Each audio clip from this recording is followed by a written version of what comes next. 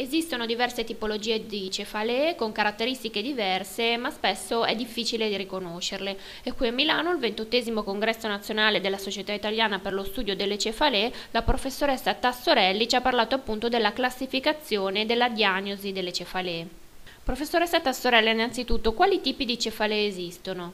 Eh, c'è una classificazione ufficiale riconosciuta delle cefalee, ce ne sono tanti tipi, nella classificazione ne sono riconosciuti 14. Eh, per semplificare un po', in genere noi riconosciamo le cefalee primarie, che sono quelle eh, in cui non c'è una patologia sottostante, la cefalea è la malattia stessa, da cefalee secondarie invece che sono quelle che vengono perché c'è un altro problema, un esempio mh, comune è ad esempio la cefalea da pressione alta, da ipertensione arteriosa. Ecco, iniziamo dalle cefalee primarie. Quali sono e quali sono le loro caratteristiche? Allora, le cefalee primarie sono eh, abbastanza diverse una dall'altra, infatti la classificazione che noi utilizziamo in campo internazionale ma anche in campo nazionale, abbiamo la, la versione tradotta in italiano, eh, riconosce per eh, ogni forma dei precisi criteri diagnostici. Ad esempio eh, l'emicrania è una cefalea che di solito è, eh, ha dolore unilaterale, dolore pulsante, eh, disabilitante, il soggetto quantomeno limita l'attività eh, quotidiana, a volte è completamente disabilitato, deve mettersi a letto magari al buio. Eh, oltre al dolore nell'emicrania ci sono sintomi di accompagnamento come la nausea, il vomito, appunto fastidio per la luce, per il rumore, fastidio per gli odori e gli attacchi sono piuttosto prolungati, durano da 4 a 72 ore ovviamente se non sono trattati con i sintomatici. Eh, e questo sarebbe il primo gruppo di cefalee primarie. Questa è l'emicrania, diciamo, emicrania senza aura, quella che si chiamava una volta emicrania comune, c'è un'emicrania anche con aura, in cui questi attacchi che ho descritto vengono preceduti da sintomi neurologici eh, tipo delle lucine, come degli zigzag, si chiamano fosfeni, sono come delle greche, degli zigzag che interessano il campo visivo, cominciano magari in un'area del campo visivo, poi magari si espandono. In alcuni soggetti oltre al disturbo visivo c'è magari anche eh, disturbo di sensibilità, un formicolio che prende il volto o la mano, in altri soggetti addirittura c'è un deficit di moto.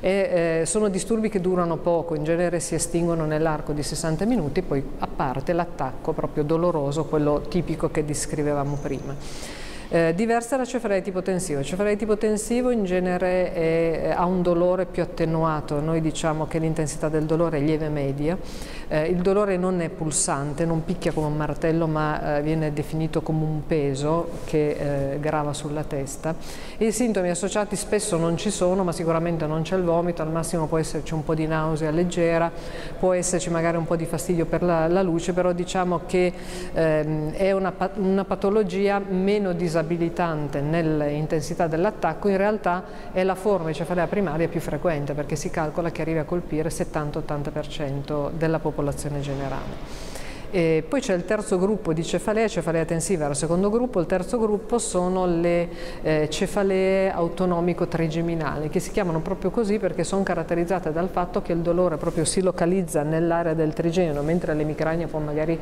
eh, prendere la parte posteriore del, del, del capo, così pure la cefalea tensiva le autonomiche trigeminali proprio si localizzano nel territorio di eh, eh, innervazione del trigemino e autonomico eh, trigeminali perché si associano dei sintomi vegetativi per cui c'è un'aptosi palpebrale, la palpebra si abbassa, la pupilla si chiude, l'occhio lacrima, a volte c'è una chiusura della narice. Una caratteristica anche di queste cefalee è che sono unilaterali, sono strettamente unilaterali. Esempio paradigmatico è la cefalea grappolo che appunto è una cefalea strettamente unilaterale unilaterale, si chiama grappoli perché eh, gli attacchi di mal di testa vengono raggruppati in alcuni periodi dell'anno che vanno da qualche settimana, 5-6 settimane e in quei periodi eh, ricorrono più volte nella giornata, magari due o tre attacchi, possono arrivare fino a otto attacchi nella giornata, sono di intensità molto forte, quella che si chiamava una volta cefalea da suicidio di buono è che si autolimitano, mentre le dicevo l'emicrania dura fino a 72 ore,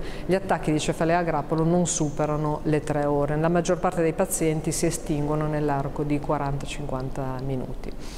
Poi abbiamo sempre nelle forme primarie un altro gruppo, il quarto gruppo di cefalee, eh, che sono cefalee che eh, di solito di breve durata, sono tutte quelle che non sono emicrania, non sono cefalea tensiva, non sono cefalea a grappolo, però non sono secondarie a un'altra patologia.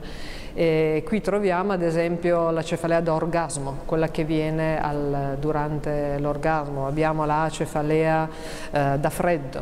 eh, pure la cefalea, quella da occhialini da nuoto, sono in genere cefalee che hanno, riconoscono uno stimolo ben preciso, ehm, vanno studiate attentamente perché ad esempio in questo gruppo c'è la cefalea rombo di tuono, rombo di tuono è così chiamata perché viene all'improvviso, dura magari pochi minuti ma è molto intensa e crea problemi di diagnosi differenziali con altre patologie più serie, perché ad esempio una rottura di un aneurismo in testa può manifestarsi con una cefalea che ha caratteristiche molto simili alla cefalea rombo di tuono, per cui sono forme primarie in cui magari serve un po' più di attenzione per escludere che non ci sia un altro problema. E poi ci sono tutte le forme secondarie e lì troviamo di tutto, ci sono le cefalee post-traumatiche, quelle legate ad un trauma al cranio o alla colonna cervicale, poi ci sono le cefalee da patologia vascolare, appunto una cefalea da neurisma piuttosto che la cefalea che si vede dopo un ictus cerebrale, poi ci sono le cefalee legate a infezione, eh, le cefalee da malattia metabolica, le cefalee legate a problemi del cranio, quindi a sinusite, chiaramente da, può dare cefalea ma è una cefalea sintomatica. Eh, poi ci sono le cefalee, c'è anche il gruppo delle cefalee psichiatriche, soggetti che hanno fondamentalmente un disturbo psichiatrico e in, nel contesto di quel disturbo psichiatrico lamentano anche cefalee.